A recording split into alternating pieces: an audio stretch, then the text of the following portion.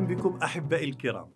في عجالة نذكركم بالحلقة الماضية فبدأنا الحديث عن أقدم مخطوطة قرآنية في العالم وهي طر الصنعاء أو طل الصنعاء دي ام 01 شرطه 27.1 وقلنا أن معظم المختصين في هذا الموضوع أجمعوا على أنها كذلك يعني أقدم مخطوطة في العالم.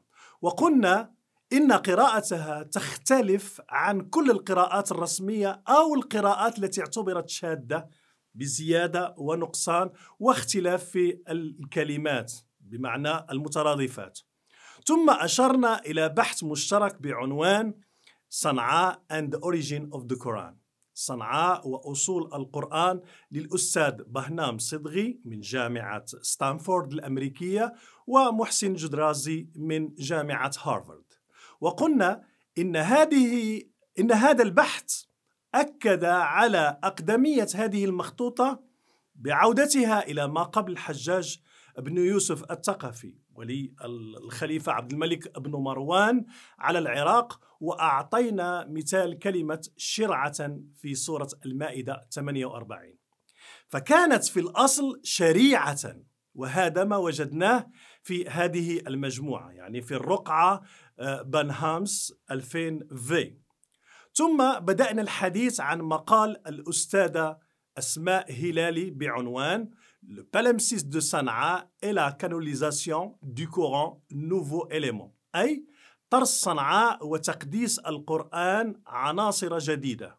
وقلنا إنها اعتمدت على مقطعين فقط. من أصل 38 رقعة ففي الرقعة الخامسة والرقعة الحادي الحداشر الرقعة الخامسة تقول الأستاذة هلالي عند بداية سورة التوبة كتب عبارة بسم الله الرحمن الرحيم. ثم عاد الناسخ في السطر الموالي وكتب عبارة لا تقل بسم الله وأكمل سورة التوبة. واستنتجت أي الأستاذة هلالي أن هذا هذه المخطوطة هي تعليمية للطلاب وليست في الأصل مصحفا معتمدا في ذلك العصر لأن عبارة لا تقل بسم الله تعلم الطلاب على أن البسملة لا تقال في بداية سورة سورة التوبة مما يؤكد أنها أنها أو أن مصحفا آخر معتمدا وهذه مجرد رقعة للتعليم. جميل. نقارن الآن بين ما قدمته الأستاذة هلالي وما طرحه كل من الأستاذ بهنام صدغي وزميله محسن جدرازي. نلاحظ قراءة مختلفة بين المرجعين ففي نهاية السطر الثامن الأستاذة هلالي تقول بسم الله الرحمن الرحيم براءة من الله ورسوله إلى آخره. والأستاذين الإيرانيين يقولين في نفس السطر بسم الله الرحمن الرحيم. هذه خاتمة سورة أ يعني الأنفال. السؤال ما هي القراءة الصحيحة؟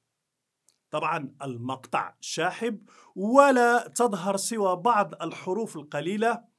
إذا أخذنا بنظرية الأستاذة هلالي تواجهنا ثلاث إشكاليات. الأولى لا معنى لتكرار عبارة براءة من الله ورسوله مرتين يعني في السطر الثامن والسطر التاسع. ثانيا في طرحها لا تقل بسم الله فهل نحن بصدد الكتابة أو القراءة؟ فالمفروض أن تكون عبارة لا تكتب بسم الله براءة من الله ورسوله. ثالثا الألف واضحة تماما في آخر السطر آه، الثامن. لماذا أغفلتها الأستاذة هلالي؟ وتقرأها بدلا من لا تقل لا تقل بسم الله كما كما جاء آه، عند الأستاذ بهنام صدغي وزميله محسن جدرازي. الأنفال قرأها الأنفال. أما بالرجوع للطرح الثاني فالسؤال المطروح هل هناك ما يعزز نظرية بهنام صدغي وزميله؟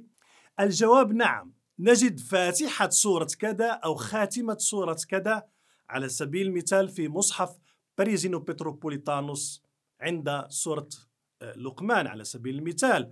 ومخطوطة لندن أو إر 2165 في سورة طه وهي آه، أي العبارة بالحبر الأحمر حتى لا تشوش على القارئ.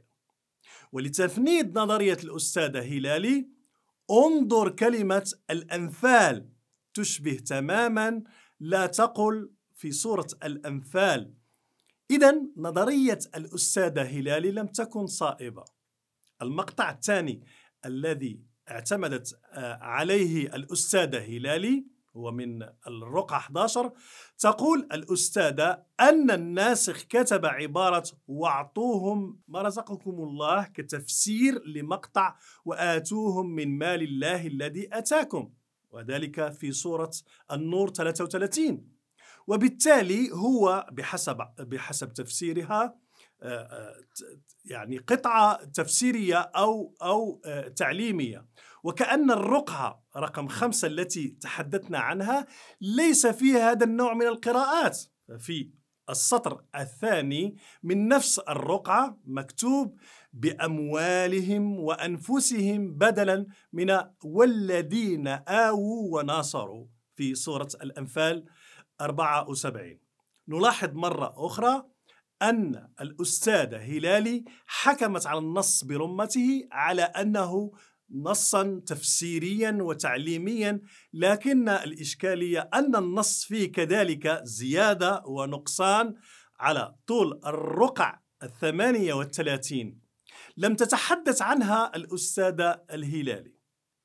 هناك قاعدة علمية في دراسة المخطوطات أغفلتها الأستاذة أسماء تقول إن النص الأقدم يكون أقرب إلى النص الأصلي من الذي يأتي بعده.